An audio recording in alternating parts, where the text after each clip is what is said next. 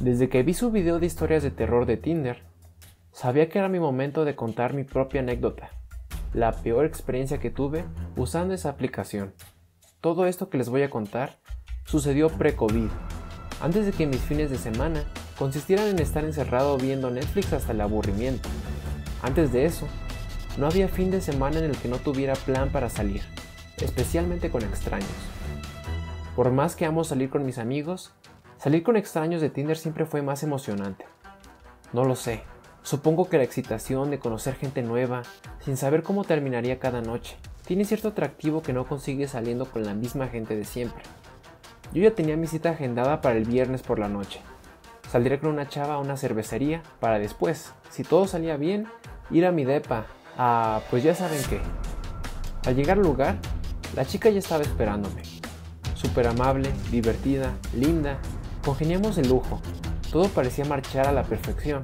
Después de unos tragos y una cena, le pregunté a la chava si quería seguir la plática en mi depa. Ella aceptó. Y más tarde, ya se imaginarán cómo terminó el asunto. Después de unas cuantas horas de atendernos el uno al otro, nos pusimos a ver una película. Era una de esas de acción de Netflix, Creo que era una con el actor de Thor, Chris Hemsworth, si no me equivoco. Los dos estábamos súper cómodos. Ella acostada sobre mí, acariciándome, y sin darme cuenta, caí rendido. Horas después, desperté en medio de la noche. La tele seguía prendida, pero era otra película ya. Era Shrek. La chava ya no estaba encima de mí. De hecho, no estaba en la cama tampoco. Supuse que estaba en el baño, en el pasillo de mi depa. Así que esperé. Pasaron los minutos y no escuchaba nada. No escuchaba el ruido del excusado llevándose el agua o de la puerta del baño cerrarse. Nada. Comencé a preocuparme, pues ya se me hacía raro que no hubiera señal de la chica. Me levanté, salí del cuarto y exclamé su nombre. Al ver la puerta del baño al final del pasillo, me preocupé, pues no había ningún reflejo de luz saliendo de ahí. Volví a llamarla, pero no hubo respuesta. Regresé a bajarle el volumen a la película, antes de salir a buscarla. Prendí la luz del pasillo, y al hacerlo, alcancé a ver la sombra de alguien escondiéndose en mi cocina. Me detuve en seco. Pregunté nuevamente por el nombre de la chica, pero sin respuesta alguna. Sabía que algo andaba mal. Regresé a mi cuarto, agarré mi celular y comencé a llamar a la policía. No pensaba arriesgarme a descubrir qué demonios estaba pasando en mi departamento. En eso escuché murmullos, y luego pasos. Me asomé desde mi cuarto y vi que dos hombres enmascarados venían hacia mí, a paso veloz. Me encerré en el cuarto y puse el seguro a tiempo. Los dos hombres forcejeaban la puerta, gritándome que saliera de ahí. Yo les contesté que estaba hablando con la policía y que no tardarían en llegar.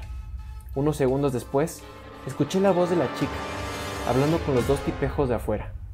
No alcancé a escuchar bien, pero al parecer logró convencerlos de irse. Mientras yo hablaba con la policía, escuchaba cómo esos malditos destruían todo lo que tocaban allá afuera. Después de unos minutos, se fueron. Salí de mi cuarto, a presenciar el desastre que dejaron y deprimirme por cuántos habían robado. Se llevaron hasta los cojines de mi sillón los malditos. Mi teoría es que la chica, aprovechando que yo estaba dormido, llamó a sus amigos o primos para venir a robarme. Ella debió haberles abierto la puerta, pues yo siempre cierro con seguro. No se me ocurre qué otra explicación puede haber ante esto, pero sé que nunca en la vida vuelvo a dormirme con una cita de Tinder. De cualquier forma, ya llevo varios meses en celibato gracias al COVID, así que tampoco tengo la opción aunque quisiera. Ah, casi lo olvido. Si se preguntan qué procedió con los policías una vez que llegaron, pues ya se saben la historia. Me pidieron que hiciera la denuncia, la denuncia no procedió en nada y ahí quedó. La historia de nunca acabar en México. En fin, Gracias por escucharme y tengan mucho cuidado con quien salen. Saludos y hasta la próxima.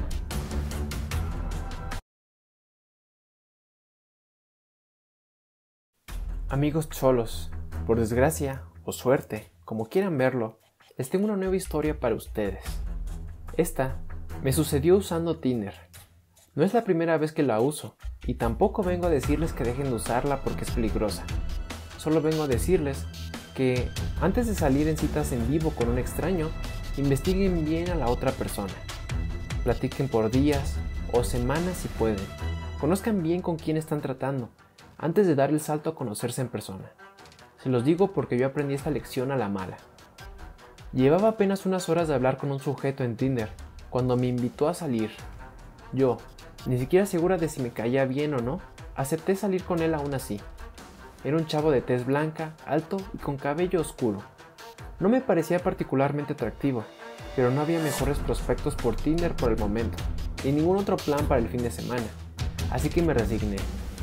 El día de la cita, el chico pasó por mí. El viaje fue bastante regular, Platicamos de cosas banales como la escuela, el clima, entre otras cosas. Lo más raro que notaba de él era su forma de hablar.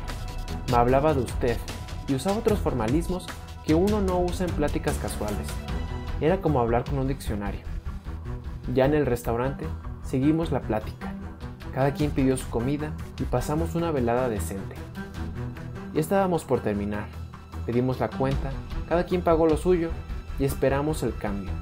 De la nada, un vendedor de ascendencia indígena apareció por sorpresa, queriendo vendernos rosas. Mi cita inmediatamente cambió su expresión. Ahora se encontraba completamente serio contestaba de manera cortante al vendedor. Yo simplemente le agradecí al vendedor por las rosas, pero le dije que no estaba interesado. Mi cita, en cambio, le dijo que si no se iba, él lo iba a sacar a golpes de ahí. El vendedor pidió disculpas de una manera muy amena y se retiró. Me sentí muy incómoda ante el comentario del chavo. Ya no tenía ganas de seguirle la conversación, simplemente quería salir de ahí. El chavo entonces dijo, no entiendo por qué dejan entrar este tipo de gente, dan una mala imagen. No supe qué responder, por lo que simplemente saqué mi celular, haciendo como si no hubiera escuchado aquel comentario. ¿O qué? ¿A poco a usted no le dan asco estos indios? Lo volteé a ver. Nuevamente no respondí.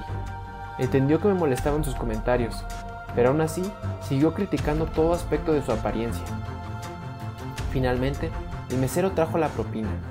Agarré mi parte, me despedí de mi cita y me retiré. El chavo, perplejo ante lo cortante que fui, se levantó y comenzó a seguirme. Ya fuera, llamé a un taxi a domicilio. Ya no quedaba de otra más que esperar.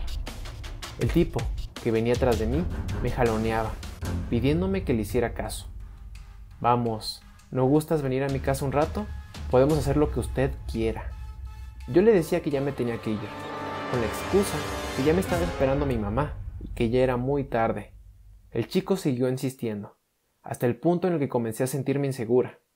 La calle estaba sola, lo cual no ayudaba a apaciguar ese sentimiento.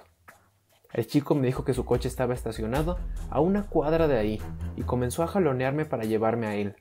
Poco a poco, la fuerza que usaba para jalarme comenzó a lastimarme.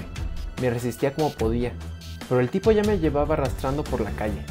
Comencé a llorar, pidiéndole que me dejara ir. Ya me había jalado a más de media cuadra de distancia y podía ver el único coche estacionado en medio de la penumbra. Comencé a gritar, esperando que algo o alguien saliera a ayudarme, pero el tipo me tapó la boca. Le mordí los dedos, haciéndolo gritar de dolor. En respuesta, me golpeó, derribándome por completo. Me comenzó a insultar y a patear. Pude ver que estaba salpicado en sangre por mi mordida. Cuando ya daba todo por perdido, llegó el vendedor de hace rato. Como Superman, saltó hacia el chavo con el puñetazo más brutal que he visto.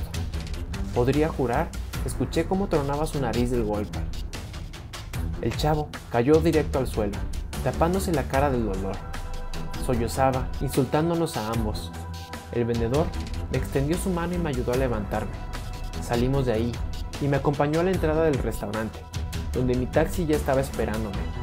El vendedor, que era bastante joven, trataba de consolarme ante lo ocurrido. Me preguntó si necesitaba que me acompañara.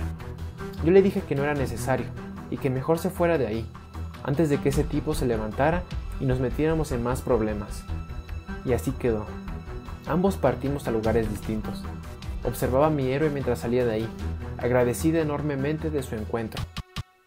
Probablemente no suceda, pero si algún día llegas a escuchar esto, mi querido héroe, quiero que sepas que nunca olvidaré lo que hiciste por mí, y que en este mundo tan horrible se necesita más gente como tú. Gracias. No olvides seguirnos en Instagram, en donde estamos como los Double Sholos.